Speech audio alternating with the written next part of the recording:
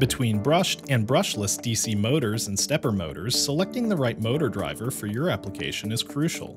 Brushed DC and stepper motors can be used in applications ranging from thermal printers and paper feeders to camera motors. Each of these has very specific requirements for ranges of voltages, currents, and package types. Brushed DC motor drivers often use H-bridge circuits to enable qualities such as reversibility for forward and reverse rotations, as well as idle and braking modes for fine-tuned control. For brushed DC motors, precision speed control is often achieved with pulse width modulation. Stepper motors typically leverage dual H-bridge drivers and require two power sources for the 5V control system and the 12 or 24V drive system. Methods to improve the quietness, control, and reliability of stepper motors include a mixed decay function that externally adjusts the ratio of slow and fast decay during current attenuation.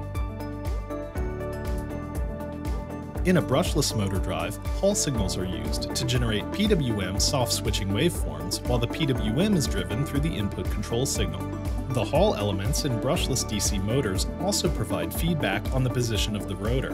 Drivers can use this feedback for 120 degree, 150 degree, 180 degree, and sine wave commutation drives in order to achieve low noise, low vibration, high efficiency, and low torque ripple. To learn more about choosing the right motor drive, visit www.rohm.com slash products slash motor dash actuator dash drivers.